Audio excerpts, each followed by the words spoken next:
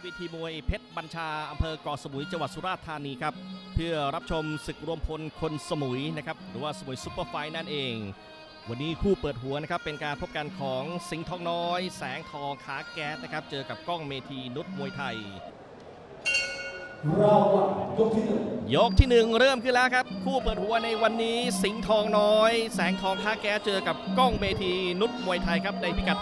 119 ปอนด์ครับ ช่างเมื่อตอนเช้านี่เองครับท่านผู้ชมครับ รูปร่างนี้ยังเห็นได้ชัดนะครับว่าทางด้านของก้องเมทีสูงยาวกว่าครับแหมก็ต้องมาดูกันนะฮะว่า อ้าวเป็นไงฮะโดนเตะตัดล่างล้มไปแล้วหนึ่งครั้งนะครับ จะชกกับมวยที่สูงกว่านี่จะทำยังไงนี่ครัอ้าวอ้าวมีอาการหันล่งเอาเอา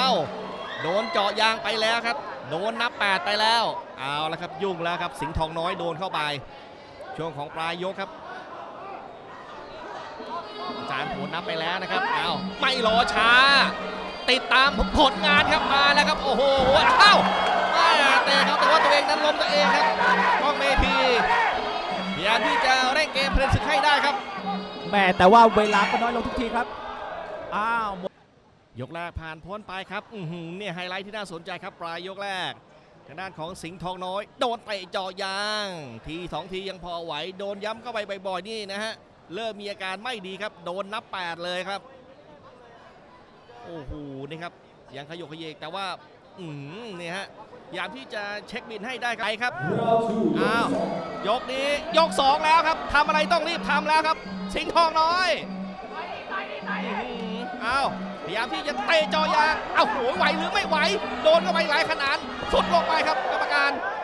โอ้โหยังให้ออกอ้าวครับ ยุติการชกแล้วครับ ยุติการชกแล้ว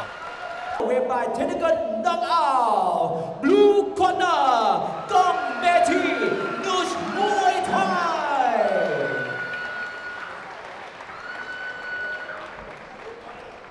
เอาละ ครับช่วงนี้พักชมสิ่งที่น่าสนใจจากทางรายการสักครู่ก่อนฮะมาดูภาพช้ากันก่อนครับท่านผู้ชมครับโดนหันเข้าไปสัดดุ้งเลยครับอื้อหือตัวยุ่งหยงแบบนี้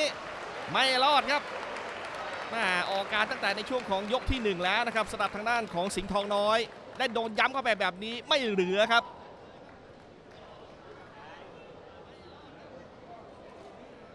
นี่ครับย้ำเข้าไปบ่อยๆ นี่โอ้โหเหรียมเหลือทนแล้วนั่นนะครับ สิงห์ทองน้อย เรียบร้อยเลยครับกรรมการต้องยุติการโชว์ครับ